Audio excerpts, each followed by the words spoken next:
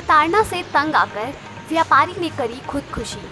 अनूपपुर ज़िले के बिजरी थाना के अंतर्गत 23 मार्च 2020 थाना प्रभारी के प्रताड़ना से तंग आकर बिजरी निवासी एवं व्यापारी रामचंद्र अग्रवाल ने खुद को आग के हवाले कर दिया।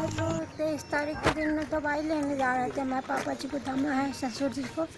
जो सत्तर साल के एज के हैं तो उनको दमा था उनकी ये दवाई लेने जा रहे थे तो वो मिले टी आई टी आई जी और उनको मतलब दवाई भी ले जाने नहीं जाने दिए और मतलब उनको बहुत ज़्यादा गाली गलौज करे और उनको थाने में पकड़ के ले गए। वहाँ पे बहुत मारपीट उनके साथ करे।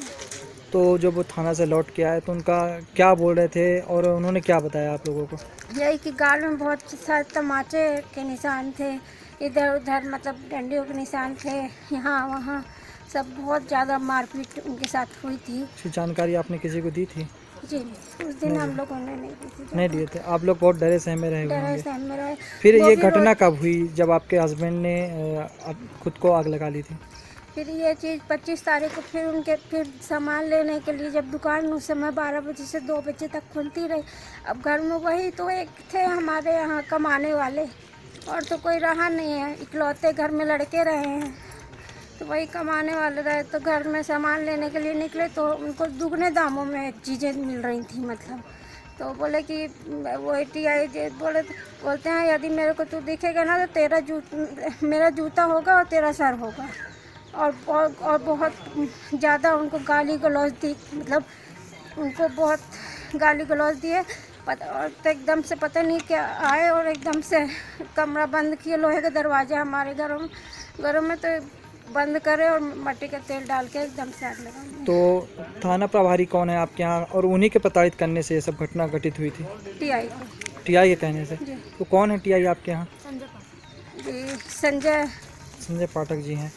और तो आप आप लोगों को जो आरोप लगाए हैं वो संजय पाठक जी के ऊपर आरोप लगाए हैं जो वहाँ के टीआई हैं कि उनके द्वारा उनके द्वारा अपमानित करने और उन्हें बार बार लोगों के सामने लज्जित करने के कारण ही उन्होंने आत्महत्या की है।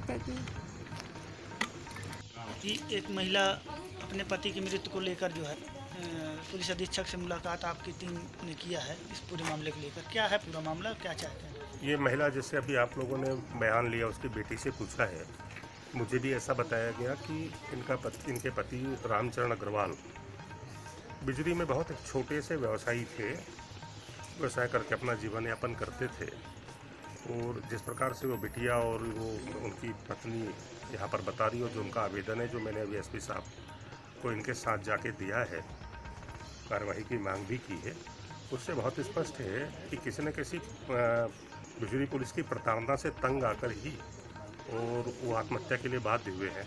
हमने एसपी मैडम को आवेदन देके उनसे निवेदन किया है कि आप इस मामले की बड़े स्तर पर जाँच कराइए और जाँच करा के इस महिला को न्याय मिले, उनके परिवार को न्याय मिले, उनके बच्चों को न्याय मिले। एसपी मैडम ने एडिशनल एसपी को उसकी जाँच सौंपी है। इस तरह एसपी बड़े अधिकारी हैं तो मुझे लग रहा है कि जाँच हो जाएगी। आप लोगों ने जो आवेदन दिया है, आप लोगों ने जो मांग रखी है, क्या मांग रखी है मैडम के सामने? न्याय होना चाहिए। उसके, उस एक घर का कर्ता प्रमुख व्यक्ति, जिसके पीछे उसकी पत्नी, दो बच्चे, उसके माता पिता इतना बड़ा परिवार जो पालता था, आज जब वो दुनिया को छोड़कर चला गया तो उसकी मृत्यु के पीछे के जो भी लोग उत्तरदायी हैं, ऐसे किसी भी व्यक्ति के विरुद्ध बिल्कुल समुचित कार्रवाई होना चाहिए और इस महिला को न्याय मिलना चाहिए। जो भारत की न्यायिक प्रणाली है, न्यायिक व्यवस्था है, उसके तहत वो न्याय की हकदार है। और उससे न्याय मिलना चाहिए, ये हम मांग करते हैं और ये मांग करते हैं एस मैडम से आए भी थे।